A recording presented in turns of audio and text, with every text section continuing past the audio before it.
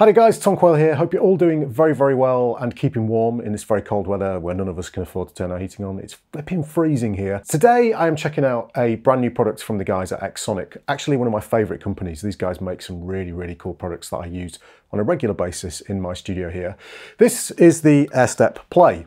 Now, if you've seen my video on the AirStep, which I actually have down here, this awesome controller, Mine is looking a little bit like it's been used a lot because it has. It's used all the time in my studio. This is the original AirStep that they released. Um, I think they call it the multi-controller now because this basically is their flagship device. It weighs a lot more than the AirStep Play. And this controls pretty much any musical device that's in my studio. So I use it specifically for videos like this now. I'm not using it right now because I wanted to show it to you, but I use it on the floor for controlling my DAW, Studio One behind me wirelessly for doing recordings like this because as you can see, I'm sat quite a long way from it. This enables me to launch and you know any of the features of the DAW as I want to when I'm recording videos like this or when I'm playing guitar and I need to record to camera. Uh, I also use it via the MIDI outs to control my amp switcher, my KHE amp switcher over there, when I'm not using it for DAW purposes. And that means I don't have to go to the amp switcher to change the amps and cabs, so on and so forth. So it's a really, really useful tool. I'll link my video down below so you guys can check this out. Another great product that I use all the time, again, that I have a video on my YouTube channel of, is their Xtone Pro audio interface. These audio interfaces are fantastic for iOS and Android, and audio interfaces for mobile devices are a real minefield, and this is actually the one that we recommend, along with its smaller brother, the standard Xtone, not the Pro, for Solo, the app that David Beebe and I produced. We actually recommend these because they're so solid with iOS and Android devices. They're made for guitar and they don't have any issues at all. And both of these products, the AirStep and the Xtone, and the Xtone Pro, are really well built out of, I think it's aluminium. Really solid components, they work really, really well. And in this case, the AirStep Play is no different. This is, again, same form factor and design as the AirStep.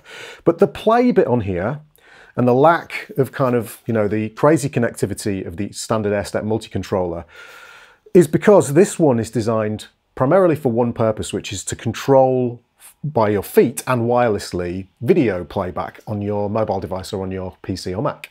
And that's really useful for doing things like YouTube videos where you want to actually learn guitar or learn anything basically and control it from your feet, particularly for guitar players and musicians generally, keyboard players, any, any musician really, because your hands are tied up playing guitar. And this concept basically is that you're, you know, untying your hands, you're freeing your hands, and therefore your kind of mind, as Xtone say, when sorry, Xsonic say, when they're um, talking about this product, in order to concentrate purely on playing and learning and practicing, as opposed to worrying about taking your hands off the guitar, the keyboard, whatever your instrument. Now, there's five buttons on here, just like the standard AirStep. They have primary functions, which are a single tap, or a single push. They have secondary and tertiary functions which enable you to get multiple uses out of long presses, short presses, and uh, pressing multiple buttons together, basically. On the back, you'll see a little Bluetooth aerial. Okay, connects via Bluetooth to any device. Switch on there for turning the device on. You can see the eye lights up to show you that it's actually on. And then you've got this function switch, which is really designed for doing things like firmware updates via the um, AirStep Updater app, which you can download onto your phone or whatever mobile device you're using. And that's it, basically. There's a 9 volt input on there so that you can actually charge it up via the included USB to 9 volt um, barrel uh, connector, which comes with the device. It also comes with a bunch of stickers that you can actually label up and put on the front if you want to sort of label the foot switches. Uh, but it's actually pretty straightforward to use, to be honest. And again, the way it works is you download the AirStep Play app, which I have loaded up here, and it just looks like a YouTube app to start with. So if I just come out of here, we've got the AirStep Play app here. Download it for free from the App Store. Again, whether that's Google or whether that's you know, the Android Play Store or whether that's the iOS Store. Obviously, I'm on an iPad Pro here. And then it loads into YouTube and you can sign in or not if you don't want to. Um, I've signed in so I get all of my video recommendations, so on and so forth. But yeah, you sign in and then basically it just works as a YouTube browser. And the idea is that you connect the AirStep Play via Bluetooth, and there's a really easy way to do that, which I'll show you in a second. And that enables you to control all the videos from your feet, basically. And there's a lot of functionality in there as well, more than I've seen with quite a few other devices that do sort of similar things to this, which is cool. And the form factor is very nice as well. It's not heavy at all. So what I'm going to do is I'm just going to turn it on. And again, if I just show it to this camera here, if I just point here so it's in focus, there's the on switch, turn it on, and you will see on the iPad, it's going to tell me it's connected. So if I turn it on here, it's going to say to me, um, there we go, just flashed up really, really quickly saying it connected. Now, if this is the first time you've connected this device, what you would do is in this app here, which again just looks like a YouTube browser, you'll see this little icon here, which kind of looks like an infinity icon. It's the AirStep Play app icon. Tap on it, and this will take you to the main functionality screen of this app. This is what's unique about this app as compared to just obviously using YouTube. Now I should mention, if you're not using a mobile device, you're using a Mac or a PC, this acts as an extension for Chrome. So you can't use this as a standalone app on a Mac or a PC. You have to use it as an extension of Chrome. Now that's fine because my browser of choice is Chrome anyway. I like to use Chrome. But if you're using Safari or if you're using on a PC, if you're using Microsoft Edge, for example, or God forbid, Internet Explorer, don't know why you'd still be using that, um, or, or Firefox, for example, it's not going to work. You need to use Chrome to do this because it installs as an extension within Chrome. But what you'll find in Chrome, and I'll show you this later on, is this little icon in the bottom right hand corner of the browser whenever you go into any video site, Vimeo, YouTube, um, Facebook, anything that plays back video will work with this app because the extension in Chrome knows that you're playing video back. And again, you can utilize all of the functions. In fact, there's a, there's a couple more functions. Um, it works a little bit better within Chrome than on the mobile device, but you're only losing a couple of functions, which I'll show you later on when you use the mobile app. But obviously this is way more convenient. So first thing you'd want to do if it wasn't connected, which it won't be the first time you turn it on, is load up the app, tap on the icon down there, and you'll see this foot icon down here. So we tap on that, and then you would click here where it says connected, it'll say connect. When you tap on there, what it's going to do is show you the AirStep Play device. Just tap on it and it will connect. Now I've got auto connect turned on. So obviously every time I switch the device on, it will auto connect. Now you might want that turned off if you want to connect it to multiple devices. So we're already connected and you can see it's showing me the amount of battery and the firmware that I'm on. And then it's going to show you some of the functionality of what the AirStep does. So short presses, just a single press. Let's point it at this camera here. We've got play and pause okay? Forward and backwards, so if you tap them once, it's gonna go forwards two seconds or back two seconds. Tap this one, we'll go all the way back to the beginning of the video.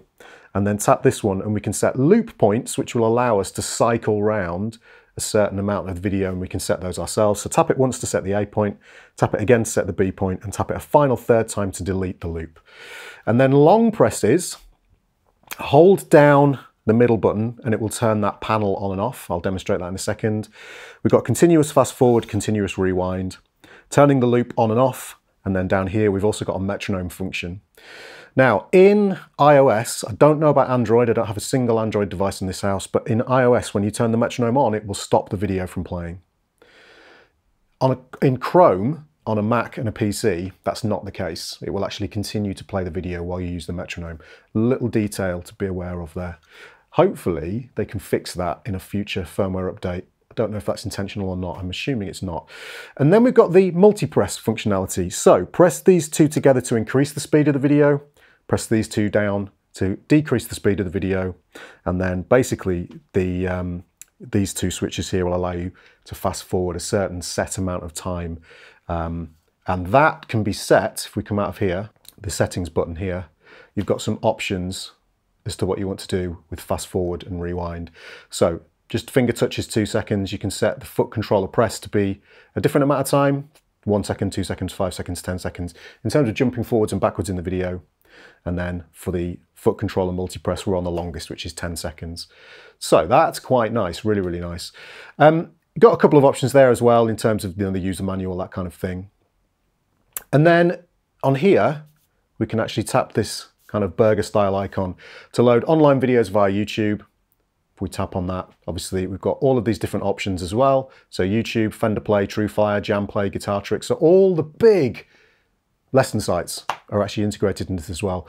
Udemy, Explore More, local video, local music, my favorites and my loops, and we'll get into those shortly. But now that we've got YouTube loaded up, I've got one of my videos from my YouTube channel, my favorite legato technique, this palm muted stuff, just to show you some of the functionality. Now, obviously you would do this with your feet, but I want to be able to show you both things at the same time. So um, I've not positioned it on the floor and I haven't got a guitar in my hands, but obviously you'll be doing this with your feet. Press the middle button.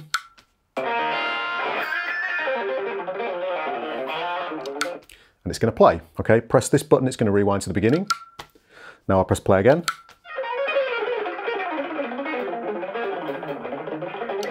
And it's instantaneous, as you can see. It's really, really fast and you know feels very good to use. And I can fast forward. So if I press this button, you can see down in the timeline here, we're actually fast forwarding at this point. Okay, so I could press play here. For the response to the last video I did. Uh, that. Okay, so let's go back to the beginning. What I'm going to do now is set an A and a B loop. And of course, that's just done with this button here, pressing it a single time. So if I was to press play, and I'm going to fairly quickly do the loop to capture some of this muted legato at the beginning. Let's say I wanted to learn some of this muted legato.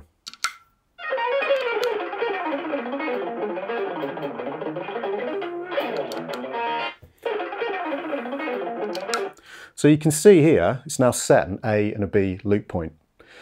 So now when I press play, it's going to cycle between those two points.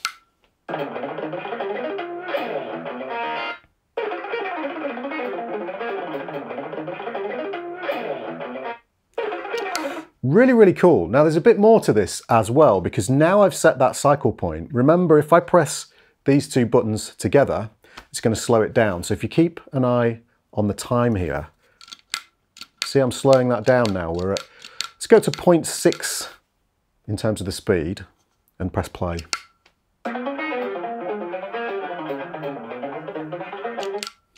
We can keep going.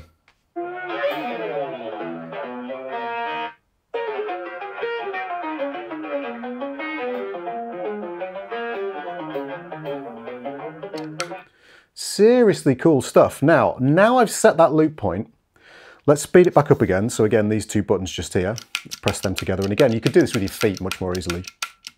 Let's go back up to one. And what I want to do is save that loop point. Now, this is not only going to save that loop point, it's going to save that specific video with that specific loop point so I can come back to it later. And the way I would do that is just tapping this icon just here. Now it's going to save the title. You could type whatever you wanted into there. Let's just use the default title. So it's telling me the video and it's telling me all the details. Press store. Now at any point now I can come in and I can open up my um, folder of all of my loops. And I've stored two different loops here, the one I just stored and one I stored earlier. So let's go to the other loop that I stored. Okay, tap to unmute the video.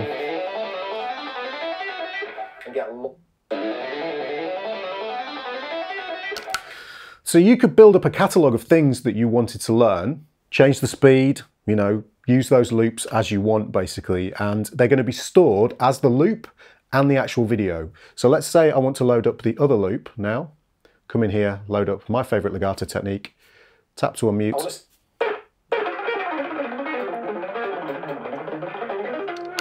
There it is, stored. Absolutely fantastic. Really, really cool, useful feature. Now, the other thing that's on here that you can't currently use in the iOS and Android version, but you can use in the Chrome version, so I'll show you that shortly, is the transpose functionality.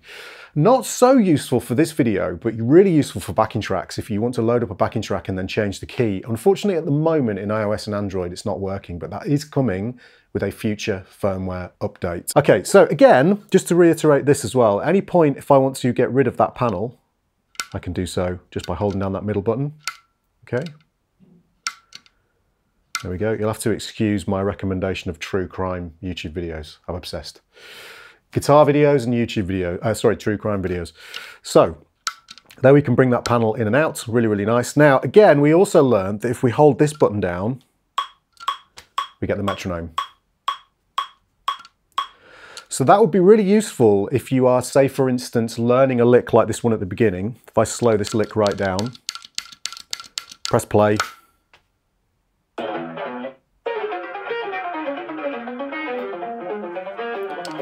hold the button down to turn the metronome on, and then you could practice with the metronome.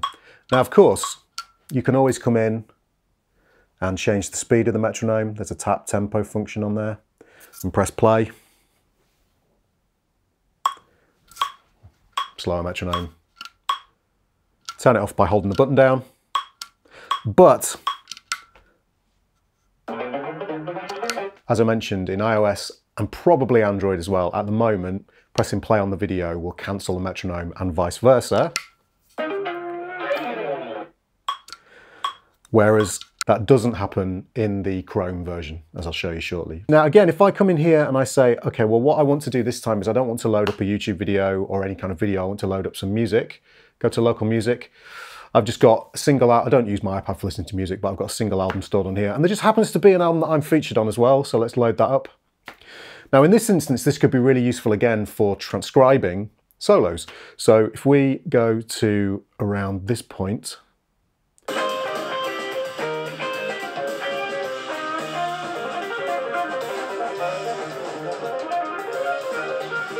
There I am doing some silly legato stuff. This is a good buddy of mine, Daniel Serif's amazing album, so check him out online. Um, if I go back a little bit, let's set a loop point.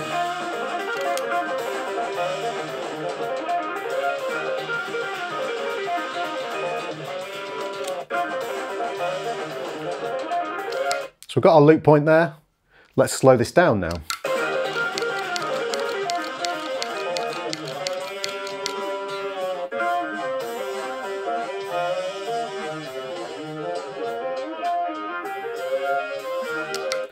Super useful for being able to transcribe material that you want to be able to transcribe in your music collection. So very, very cool indeed. And again, if I want to load local video material, let's go to down here. I've got, I believe Instagram is somewhere, there it is. So these are all the Instagram videos I've ever uploaded to Instagram stored on my iPhone, uh, my iPad, sorry. So I could load any of these up and it will load up into the player here and I can start to, you know, figure out what I'm playing. Same functionality. Change the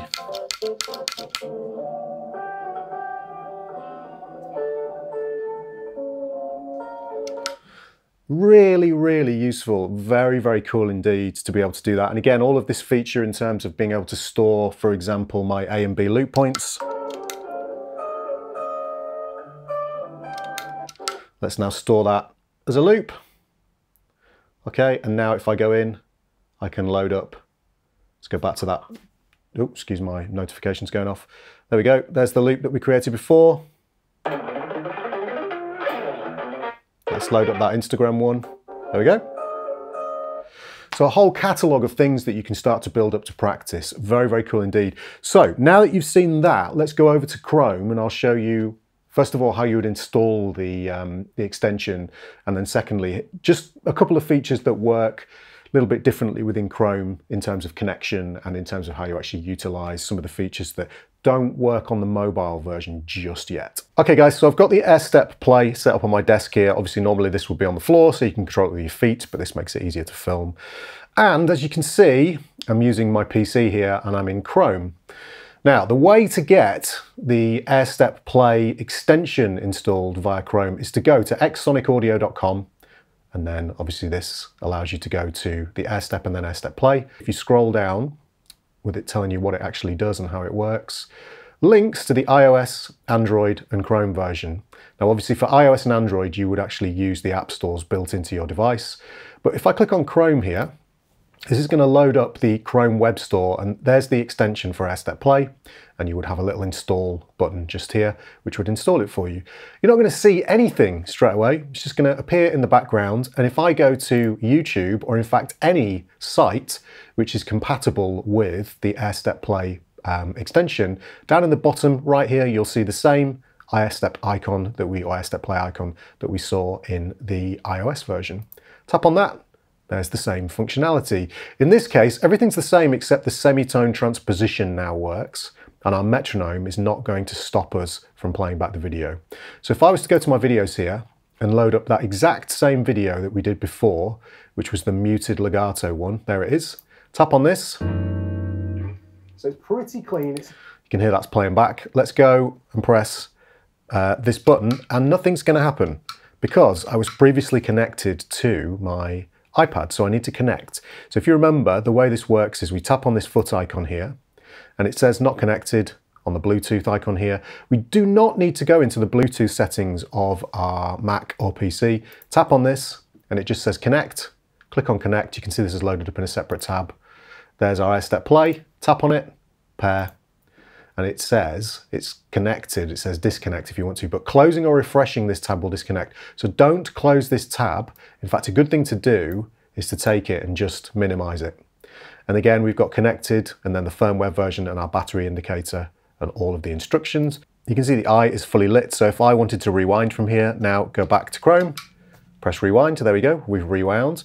Now, again, same functionality works if I wanted to use the loop, for example. You can see currently the loop is actually turned off. So I hold this button down, turn the loop on, and now I can set the same loop point. So press play.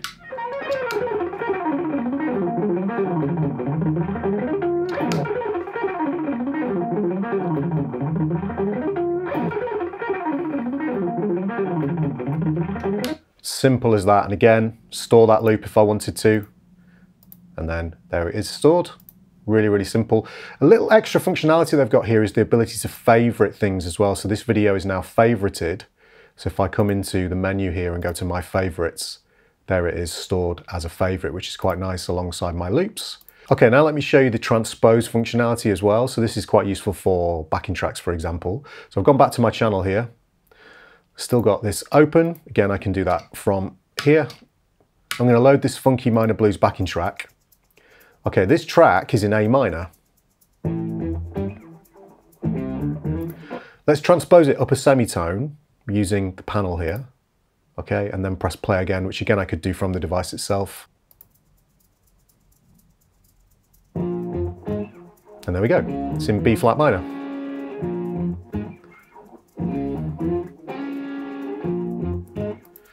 Now, of course, I did mention that you can also utilize this with other websites, so let's have a quick look at that now as well.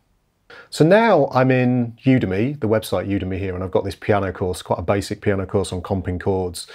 And again, same functionality works. You can see the icon is down here. This will only appear when you're on a site that's compatible with the extension and the AirPlay. Press play. This progression up a bit. So All working perfectly. If I load up the actual um, If I load up the actual extension here, I can see all the controls again. Now the only things that won't work is if the site has a custom playback rate function here, that's going to take precedence over the playback rate within the app here. So you have that functionality somewhere else. But everything else is going to work. I can set loop points. I've got that set here. Another bit, so you might want to come in this progression up a bit. So you might want Again, I can store that loop if I want to and come back to it at a later point just by opening it up really, really useful. All right, guys, so there we go. That is the AirStep Play from the guys at Xsonic. It's a great device, very affordable right now as well in the run up to Christmas. They're doing a promotion. In the UK, this is £59, reduced from I think £109.